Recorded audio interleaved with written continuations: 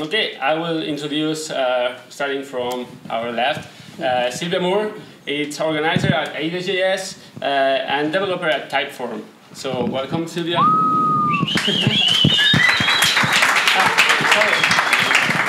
She be talking about Meteor, but uh, as Meteor is uh, a little bit outside this debate, okay, because it's, as you all know, it's a frame, it actually is a platform, actually, okay? It's not, they, they are not naming uh, itself as a framework, but as a, as a platform.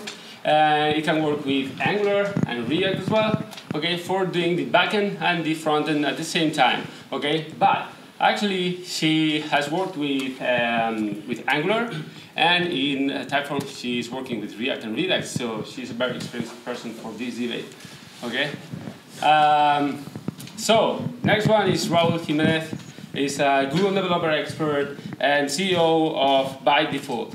Okay, uh, she will be uh, speaking uh, about. She will be. Uh, he will be defending. sorry, he will be defending Angular, um, uh, and that's it. Uh, the next one is Philip Desmet. I know it correctly. First and last.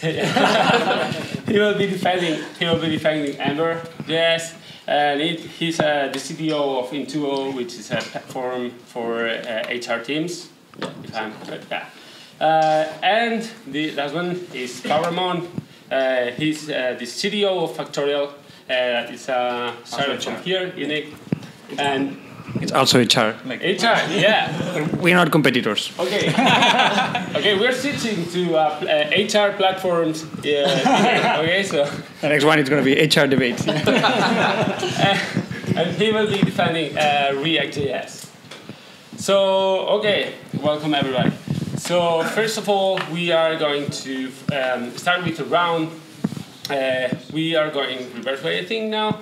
And you have a maximum of five minutes. I think five minutes is too long, actually. So don't worry if you do not feel that. But I will stop you at, at five minutes uh, to explain about, to talk about these pros and cons of the of the framework that they are defending and why you uh, you choose them. Okay, that's uh, that's fair. So, as you said, I'm Pau, and uh, my experience with front-end development uh, comes from uh, the very beginning with jQuery. Then I jumped into the wagon of Backbone, and actually, we did an event in this very room. Uh, it was a framework debate, and I had to defend Backbone, which uh, probably, if I see the video right now, it would be a little bit embarrassing, but it's fine. And I guess it it's going to be the same when I see the video about React today, but it's fine. I say this as, as a disclaimer. So uh, basically, uh, I was uh, I was CTO before at Redbooth before starting Factorial, and we had a huge code base with Backbone and, and Marionette, and it was really uh, really painful to deal with uh, with state basically. And when uh, React started to become more prominent, the thing that for me it was more obvious and it was enlightening, it was the unidirectional flow. So basically, the fact that you have to only declare uh, how the views have to render the content, and then you can deal with the content, and then automatically uh, the views uh, get rendered. So this for me was, was amazing. And the fact that it was only state and components, the composability, it was really good. That being said, I'm not gonna defend React over the other frameworks. Uh, I think it's quite good that there are many frameworks, so all the frameworks learn from each other and also compete about each other. But uh, if all of you would use React, it would be amazing because then I don't have to change framework in four years like happened with Backbone. So, so that, that's that's my, my, my second point is uh, when when starting in Factorial. So obviously we had to decide the stack and it's always the same. Like, do I go hipster and I choose something like Vue.js or like Elm or whatever, uh, or do I want to use something I know or, or some something in between? So, um, looking at all the uh, profiles about people that I wanted to hire, or you know, like more or less about the community, I I decided uh, that React had the most uh, or like the biggest uh, uh, pool of people that wanted to work with it. Uh, and that was one of the decisions that I took. It was to use React because I thought uh, the pool of candidates, if I had to assemble a team for front-end development, would be bigger. So I wouldn't say all the pros and cons have to be on the technical side. I actually think uh, all the frameworks exposed today, none of them give you a competitive advantage. Like, oh, if you use Angular or Ember or React, you're going to be like 10x. Uh, so in, in this sense, I decided more about React because it was the most popular at the moment. Okay. I think that's it. Yeah. Okay, thank you. Uh, so, Philip, uh, can you talk a little bit about uh, Ember and pros and cons? Yeah, definitely. Um, so I really like what Pau said, by the way. Um, Thank you. Because I was just 10 minutes ago. You're not going to fight. We're going to start drinking beer. That's a good idea, actually. 10 minutes ago, I was just talking to a friend, and he said, I really hope this doesn't turn into like a front end flame war. So I, I was like, well, let's see. Um, but I brought my um, list of notes of the pros of Ember. Um, but first, I think if you talk about, let's say, the big three Angular, React, Ember, we're like the ugly little brother, maybe because um, no one really likes to use Ember. If you talk to them, like a lot of people don't even or haven't even looked into Ember, and it, I think that's quite a shame uh, because even though it might not be that popular, it's backed by a lot of great companies, especially in the US. Um, so if you look at Yahoo, LinkedIn, they use Ember a lot. Um, in fact, if you right now go to the mobile side of LinkedIn, it's completely written in Ember. Um, all these nice and quirky um, animations, they're in Ember. Um, something that people probably don't know is also Apple Music. Apple Music apparently completely written in Ember. Um, even though it's a desktop app, it's probably a wrapper around an Ember app. So I thought that was pretty cool. So even though it's not a big household name such as Facebook and um, uh, what's it, Google, um, yeah, Ember has decent backing by companies, and I think that should not be um, forgotten. So next time you open up Twitch, for instance, are there gamers here? If there are, um, Twitch is completely written in Ember as well. Um, anyway, I'm gonna shut up about the companies using Ember now and going into the real um, pros. We use Ember as well, by the way. Cool, yeah. yeah. and we're hiring.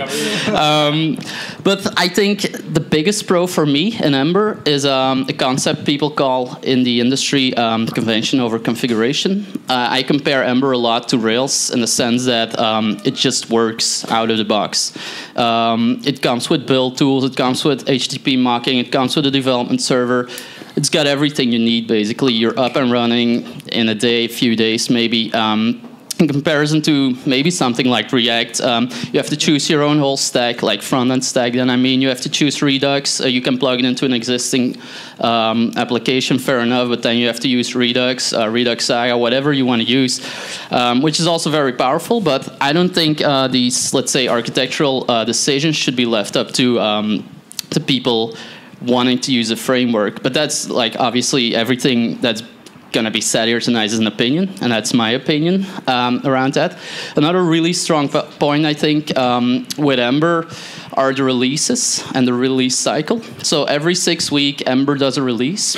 Um, so whether or not there have been big big improvements after six weeks, it goes up into a minor version. So they use semantic versioning. So now we're at 10.10 uh, 2.10, sorry. In six weeks, we're going to 2.11. Whether or not there have been significant features built or, or whatever, it's just going to be that. Next to that, um, they also do LTS releases. So if you're familiar with Unix, like Ubuntu Linux, um, they do that a lot. So um, LTS means long-term support, by the way. So if you use um, Ember 2.8 right now, it is. They will still release security updates for another, I think, 18 months. It is. So you there's no JavaScript fatigue, as in the sense that you don't have to upgrade if you don't want to, and they, they, the Ember core team really thinks of it as a long-term project, and it's really open source. They really work together. Um, they publish RFCs, like you know, requests. If if someone wants to build a new feature, they really discuss this as a team where I think if you look at React or Angular, it's more driven from a company point of view, from Facebook. If Facebook yeah, says yeah. we need to build this and we need to change it, it's gonna be changed. Yeah, actually, actually, in these front-end frameworks, the the exception is Ember. Um, I mean, on the front-end part, because uh, we were talking uh, before about it, but we are almost discussing about Google or Facebook. Okay, because it, one is uh, Facebook driven, the other is Google. Uh, Or, or Yehuda. no? Well, yeah. Ember, it's like it's backed by a company actually, but it's not Facebook or Google. In fact, Ember uh, was a hard fork of um, SproutCore, and SproutCore was Yeah. developed by Apple in-house as a front-end framework. But that's like six I years didn't know that. ago, like when they forked. Uh, but still, I like there's not really a driving force, let's say, behind uh, behind Ember as a framework. So I think that's actually a pro. Uh, but yeah, I've got some other things, but yeah, Yeah, we- these are the most important Yeah. ones. Yeah, I'm, I'm, I'm realizing we're not talking about the, the cons. We're just uh, saying the good things about it. yeah, yeah, but yeah, yeah, but I have questions for this Okay. after this. I- okay, this is another interview. I want you to throw like bad things against the others, but let's let's let's give some space now. Okay, so Raul, uh, can you talk us about Angular and okay that word? Yeah. Well, I've been using Angular for the last, I don't know, five years, something like that. So I have a lot of experience with Angular. Um, before that, uh, I was an ActionScript developer, so I worked with Flash. Yeah, with Flash, you know? Actually, that was a good thing at that time because the good thing about Flash is that they use ECMAScript. And it was, uh, I worked with Flash for, pff, I don't know, 10, 12 years, I don't know, a lot of time. And the good thing is that I really, really, really had a good understanding about all the prototype and how ECMAScript works under, under below, you know? And when, when Flash, you know, just was deprecated, because that was, was, was it, it was that. It was deprecated. Um, I started looking to a new framework. And back in that time, it was Ember. It was Ember 1, 1.3, something like that. It was also um, Backbone, back in the time too. And it was the early versions of Angular. And I really, uh, I, I've done, you know, these pet projects with three frameworks. And back in the time, I just choose Angular because the template framework was very friendly for me. And it was very familiar for me too, uh, for my background in Flash, and because I worked also with Flex. So I said, okay, I can maybe do something like what I've done to create custom elements, custom tags in, in JavaScript. So that was super friendly for me. So I think that this is something that usually happens with developers. You know, when you approach to a new technology, you usually uh, start working with the technology that it's more uh, friendly for you, right? Absolutely. And um, it, actually, right now, Angular evolve have, has been evolved a lot. Angular 2 is, you know, uh, a big, big uh, step forward. Yeah, it's a big change. I will. It's I will a big ask- change. I will ask you about this. It's a big change, yeah. Obviously, it's a big change. But if you see how the, the framework works, it is basically the same thing. I mean, obviously, you, you can't just port an Angular 1.x application to Angular uh, 2.x because it's going to be a pain in the ass. We, we know that thing, that that's obviously.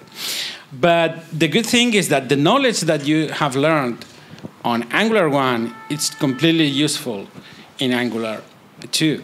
So that's a very good, very good, good thing. Okay, okay. I, I think uh, actually the, the names of, of, of the things on Angular 2 and Angular uh, and Angular 4, Angular 1 to Angular 2 have changed a lot. Mm, not that much. I mean, it's. Uh, I mean, all the directives. It's uh, basically have the same names. You just. Uh, it's just how you write the, But- but- these things. But, but when you learn, when, when you have learned the the how it works, uh, which is super easy because the new templating framework it's super easy to learn. It doesn't have all the drawbacks and all the traps that you that you can find in Angular one. When you learn that thing that it can you know cost you like uh, one morning studying how the templating framework works, then it's done. You you can just uh, understand how Angular two works super easy. And on another hand, uh, another thing of uh, that it's super uh, powerful in Angular 2 that I really like it. It's something that it's being uh, mimicked by the Ember team actually, which is the Angular CLI. No, no, I like this. I like this. And um, I, I, I, back in that time, I, I really liked uh, the work that Ember work, uh, have done with the CLI. Now I think that it's super powerful. I really wish that Angular will have right now the Ember CLI because it's awesome. But uh, the Angular CLI, it's uh, improving every day. Every day it's even better. And um, and I think that uh, eventually uh, the Angular CLI is going to be really, really good. As good maybe as, as the Ember. If I'm not mistaken, um, Angular CLI uses Ember CLI under the hood, no? Uh, yeah, yeah. I'm, I'm not trying to blame you. and it's, and yeah, but they, they, are migrating. At the same time, Ember CLI is based on Broccoli, which is like yeah, the yeah, exactly. pipeline, exactly. but still. That, uh, uh, in any way, I mean, they are they are moving also to Webpack. Okay. Yeah. So you can use uh, the Broccoli version and the Webpack version. I think that right now the Webpack version is kind of more popular.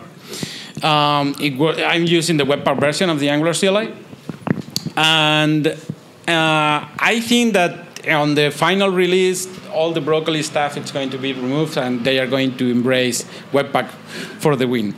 And And another thing that it's also super powerful in Angular 2 that uh, it's it's only available in Angular 2. Uh, the other frameworks doesn't have this feature It's the ahead of time compilation. Which the ahead of time compilation basically it's going to take all your HTML templates and uh, compile those templates to JavaScript, and then uh, they are going to interpret those JavaScript uh, those templates in JavaScript and uh, release a bundle size super minimal and uh, and point you answered me before I made you the question. So. yeah, and and and this and the and the the code that is generated by by the ahead of time compilation, it's uh, interpreted. Uh, almost instantly by the virtual machine, by the JavaScript virtual machine. So that makes your app super fast to bootstrap. I mean, we are talking about the, the, an application that uh, has a lot of JavaScript uh, with, uh, uh I mean, 200 kilobytes of application, 300 kilobytes, 500 kilobytes that can yeah, start actually, that can start up in, in less than a second or one second or yeah, less than two seconds. I, I read uh, that Angular, I thought that Angular and the bundle of Angular and, and RxJS, yeah, okay, it's like 800 kilobytes out of the box. Yeah, but if you use tree shaking and yeah, the ahead of time compilation, you can have that in 25 kilobytes. Wow, it's pretty amazing. Yeah. Okay. okay, so, okay, move on. Uh, Meteor, okay, we understand. It is a little out of this debate, but isn't it actually an interesting point about, uh, we want to hear about Meteor because it's an option that you can start developing all that Angular things or uh, React things. I don't think Ember is included in this bundle because there is documentation for Blaze, Angular, and React. Um, but you can use Meteor as a platform to, um, to serve that um, front-end uh, applications and uh, with the same code actually because it's, um, it's um, showing models and that, um, and that stuff um, to put all this thing uh, in Meteor, right? So can you tell, can you talk a little bit about Meteor? I, I have to I have to say, whenever I've worked with Meteor, I've always used Blaze. Yeah, I, and um, so if, if you have questions regarding how to use Meteor with React or Angular, I'm going to let you down. I'm sorry. yeah. um, and but I think it's a really good idea that they and uh, whoever came up with this idea was very smart because Blaze, um, it's, it's very easy to start with Meteor, which is cool. And um, once you get to, once you want to do more complicated things, you right away realize Blaze is a bit limited. So I think um, having the possibility of using React or Angular 2 is really good because yeah. if you already have experience with those and you can um, uh, take advantage of the good things of Meteor, um, you, it's a win-win, I think. Um, having said that, uh, I think uh, the best feature of Meteor is um, the real time, the data synchronization. Mm.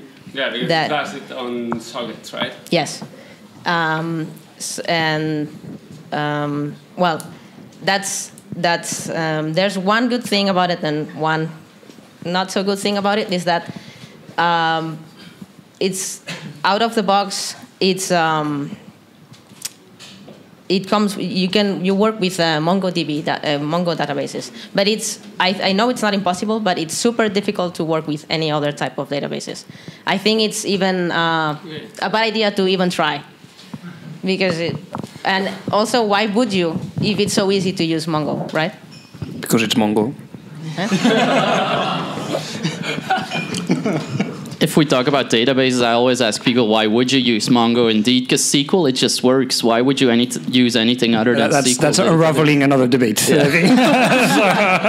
Okay, sorry, sorry, sorry. SQL versus NoSQL. Yeah, I'm sorry. I, I prefer serverless.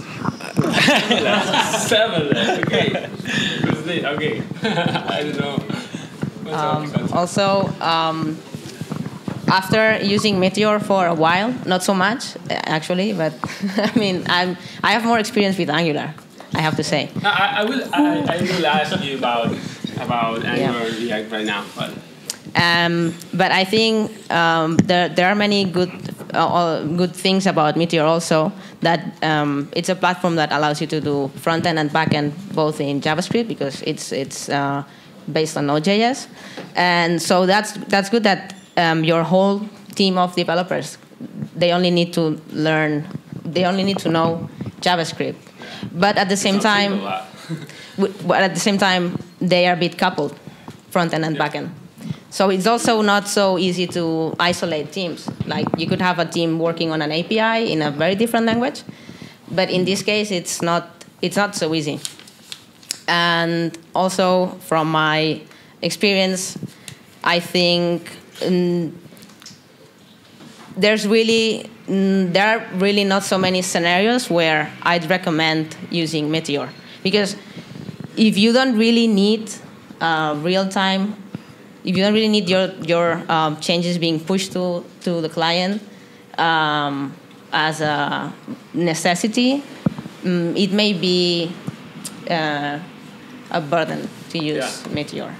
And um, so the fir- first uh, Meteor application that I built was um, a challenge that I um, uh, is had myself. Side, yeah, side, a side project. Yeah, it was Learn a side project, but it, it was also depending on uh, bonus in my previous company, so I was really Okay, interested to. Yeah, nice motivation. Yeah, but but also I thought, okay, if I'm gonna get a bonus for something, at least let's let's do something that I really want to do at home, and that I that I can have fun doing it. So I thought, what's the what could be the best um, use case for such an application? And I think it's games, really, it's games, because you you have you need to have that uh, real time, fast data synchronization. Yeah, yeah. And so it was a sort of board game made uh, web application. Which, which another good thing of Meteor is that um, you can easily create um, uh, um, a smartphone application with the same code base. You can you can build for web, you can build for uh, iOS, and you can build for Android. Uh, it's uh, it's um, integrated with Cordova, Apache Cordova. Okay. I, I myself didn't get to that uh, phase of my project to, to build it for Android, but I made it um, um, responsive, so I could use the web app on the Yeah. on the phone. It's fastest. And it was on the first time we used it in my uh, company. We, we had this uh, presentation. It was a group of 20 people, and we played the. It's a werewolves game. I don't know if you may know it. It's a board game actually. You play with cards, and everyone was surprised at how fast it was. And it's for sure. And it's uh, it was only 20 people in the world playing it at the same time. but it's it's super it's super cool, and it didn't take me long. I did it in two weeks. and and I've kept uh, improving it. Yeah, yeah. This is one of the good points of Meteor. I mean, bootstrapping. Mm-hmm. If you need to bootstrap something, it's like we, if you're doing it with Meteor, you're going. I mean, yeah, blazing fast. Yeah. no, I didn't prepare that. no, but it's like you're going so fast, mm-hmm. uh, bootstrapping this. But okay, if you, then if you're going um, um, if you're going in production mode and you have you need to have a high availability, I think sockets are too expensive, right? Yeah. Well, yeah. There's. I think it used to be a bigger issue in the past. Um, I haven't been using Meteor in the mm, last few months, and I'm actually not sure what version they are currently in. But I, I know it used to be a big um, issue to um, scale. But nowadays, there are some tools, like there's one that's very popular that's named Cluster, that allows you to do um, horizontal scaling easily by adding well, adding machines, you know. Yeah. And and uh, that's not an issue anymore. Um, but. Oh, it's nice. I, I didn't know that. Yeah. So uh, I think I think that wouldn't be a reason not to try Meteor anymore. If because I, I know that was whenever you look on Google, um, most um, most articles of people asking should I use Meteor, they are worried about that. Yeah, that's their it. biggest yeah, worry. They expensive, yeah. so I'm not going. And also, uh, that's also one one good thing of Meteor. Like when you start, it's easy to get things done but when you want to improve performance, you have to really go into detail, uh, tweaking um, uh, the configuration of your collection so that yeah. you don't impact performance. Okay. But but yeah, it's it's okay. it's fun. So I want to ask you about those frameworks that you uh, work with, uh, mm-hmm. Angular, which I, I I think it's your preferred, yeah. Uh, and React uh, which is the one that you're working with. so it's like it's like uh, it's a very good story for you. So do you have anything to add uh, on on um, on what those guys uh, say uh, about well, Angular or yeah? There are there are what I like Angular. What I like Angular for reasons that I also like React on the opposite side, which is kind okay. of crazy.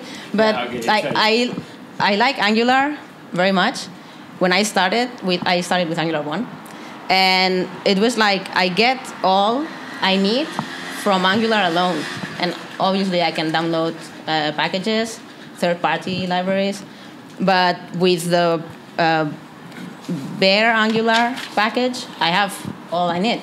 I have routing, I have templating, I have. Um, yeah, it's all outside the box. Yeah, it's, it's and and for for someone that doesn't want to uh, spend so much time um, researching what, which tools I should use, that's that's great. But then, if you are the kind of person that doesn't want to be so um, tight and so your hands tight, yeah, actually, actually, it's like this, I want to choose my own packages. So okay, that's I, also cool for React. I heard about it a lot, but I don't heard about the name opinionated versus unopinionated okay, which is one of the topics that split this debate a lot. It's like um, Angular and Ember are very opinionated. Uh, this means that the framework um, tell you uh, how to develop your application. Okay, on they, they are telling you the way to do it. Do you want to do routing? This is the way to do it. And React, by the other way, is very unopinionated. And it's like, you want to do routing? Okay, do it yourself. and it's like, or find something that you want, some library that you want to, to, to so yeah, I, I, I think it's a really valid point, and it's actually this is why I complain that we only talk about the good things. So I didn't talk about this, for instance. Uh, I think this is more political uh, or philosophical, and uh, which is really weird because, for instance, I'm a Rails guy on the back end. I, I, I, want the decisions to be made, but on the front end, I really like to choose my uh, my dishes. So I think in the end, and you, you, can find this in any technology, there's always this dichotomy of the people that don't want to make a decision and the people that do want to make a decision. So React aligns more with the Unix philosophy of the right tool for the right job. The only thing is that you spend a lot of time to figuring out which tool is what, but that's, uh, that's the only thing. So I, I do agree React takes quite a lot of time and the uh, learning curve is really steep because of that because you have to assemble your stack. But then uh, the, the good thing if, if, if there is or if people value it is that you can actually assemble the right stack. So for instance uh, when i was uh, starting factorial i really wanted uh, to have typing like incremental typing. Uh, so basically i had two choices typescript and flow at the moment so Angular, for, for, instance, comes with TypeScript, which I, I, think is great. But at the moment, they didn't have nullable types. Now they do. And for me, uh, that's, that was uh, something that I really wanted. So I was really grateful that in React I could choose to use these and so, and so on. So um, I, I, I, think it, it, depends on the kind of person and who you are and what you want. Um, so, for instance, in my opinion, in the backend, I prefer my decisions to be taken. In the front end, I, I want to take my decisions and choose what I like most at the expense of the time. this, this, is this is maybe a problem from React because. Um, a, a, problem and, and, and, and an advantage. Yeah, no, or, or, or, an advantage. Uh, I mean, yeah, Huh? Yeah, but, uh, but, actually, the adoption of React, um, it's, it's, it's very, um, I think, no, it's not low. not, not at all. this, is not, this is not the word, but it's less than it has to be because of this thing because um, some people, some developers want to, some guides to do something. We, we have Dan Abramov, that's a good thing. and uh, the fun boys. yeah, yes. No, I, I will. Okay, we, we will talk about the evangelists later because uh, in React we have Dan Abramov, but in Angular we have you, you, Raúl? ¿Yo? Really? No, no. no, yo no. Uh, no, uh, in, in Angular, which is which one is the evangelist of Angular? What one is the, the Dan Abramov of, of Angular? Igor Minar or uh, or Misko Hevery. Yeah, okay, I will. No, but they, they are the creators. They are not. personal choice, but I, I would say John Papa is one of the creators of the mm. design styles of how to do the things on Angular. Yeah, well, John Papa, John Papa created this this uh, um, the the Angular style guide. Yeah. Okay, which which is pretty similar to what the, the, there is something similar in React for which is from Airbnb. Yes. Which is the Airbnb uh, uh, React style guide. So John Papa wrote something like that, yeah, and a lot of people following it. Um, I I like that that the that, that the style guide. I don't follow all the rules, but I think that it's good. Yeah. Yeah, it's like a good starting point. It's like I mean, uh, for me, it's like it's not the same, but this is why I'm talking about uh, those guys, Dan Abramov and this guy uh, at the same time. At same time, uh, but John Papa hasn't uh, uh, done something like Redux, like Dan Abramov uh, did, and obviously Dan was um, hired by the Facebook React core team because of obvious reasons. Okay, and and but it's like I, I put them in the same page because it's the guy that you go to because Dan Abramov created Redux, but one of the most things you do or you take from Dan Abramov is the, is the style guide and the, and the patterns about the presentational the, this this famous article about uh, presentational uh, containers versus um, no. Uh, presentational component versus container components, and it's the same as John Papa. This is why I talk about them together. So it's like kind of style guide. So yeah, I'm sorry, I, I was uh, talking about. Yeah, I, I would say like in, in terms of the choice, I think to wrap up, and maybe you see it differently, but I think on one on one end of the spectrum there's React, where it's uh, Unix philosophy. You know, like you choose the tools, you assemble, uh, it's your job to, to figure out, which is which is hard, but can be rewarding. I think the uh, the opposite side it's Ember, where actually everything is, is chosen for you, so you spend zero time choosing. If you want to switch something or change something, I mean, it's like in, in, in Rails. You know, there's a Rails way, and it's not I mean, I think it's It's, it's, fro- it's from Yehuda. It's the so- on Rails. It's the front end on Rails. Yes, it- exactly, They, exactly. they say it's a Ruby on Rails of front end. And I think Angular, maybe I'm mistaken because I haven't worked much with it. Uh, it's probably something in between. Because I heard you can switch off the two-way binding, you can use different state management tools, and so on. So it's a little bit like uh, you get everything included, but you can still, if something you don't like, you can swap it out. Yeah, you, you can you can change the, the two way data binding that data binding to one way data binding. You, you can choose that, for example, but it is basically uh, convention or over configuration, and um, But it, it opens the door to configuration. yeah, yeah, you, you can you can tweak a few small things, not not too much, but yeah, you you can uh, tweak a small things. So I read it yesterday. I was uh, googling React versus Angular. So I think we were all in the same thread, so And, and while Ember it chooses everything for you, I've actually read on the internet as well some guys that um, switched Ember Data, which is like the data flow library um, for Ember, and they switched it to Redux actually. Uh, so it's also possible, but I very much prefer my my um, decisions made for taken, me. Yeah, because I'm not sure. Oh my, oh my gosh, no, I don't know what it's called. No, but I'm not sure if this should be part of the debate. But if you ask me which single page applic or do you want to build a single page application or which front end framework should you choose, then I always say, should we use a front end framework? Really? Should you use one? okay. No, seriously, because I know like probably 10% of the people here, they're or maybe more, I don't know, they're developing an app completely in Rails, server rendered HTML, it works completely fine, you're driving the business value, it's going great. And then all of a sudden there's this crazy developer in your team, he wants to start using React and I'm like, dude, why? Like why? And I had the same thing when we started using Ember. Um, I was like, why? Really, I know it, you, your UX will be a lot better. Um, there are a lot of like pros, but do all applications really need a single page app? Interfere. Yeah, of course, of course. Um, I mean, I have I have to do as less as possible. Okay, so okay, that's good because I like uh, I like the mic. less work as possible. I'm here drinking beer, and that's it. So. so that, that's that's a really good point, and I, I agree with you. Although I've been uh, for the last six years I've been doing single web applications, so I failed to resist uh, the temptation. Uh, one, like recently when starting the new company, designing the stack, one of the things I also asked myself is about mobile development, and I think that's something we, we probably could touch about the about the frameworks here present. Um, so basically, when you start a small company, if you have to decide to hire developers, uh, if you want to go three platforms, which is web, Android, and iOS, uh, it, it can be really really expensive. So one of the decisions for me to choose React also was like, eventually when we want to launch the, the mobile application, will I be able to use the people that have the skills uh, for building the web application to do the mobile application?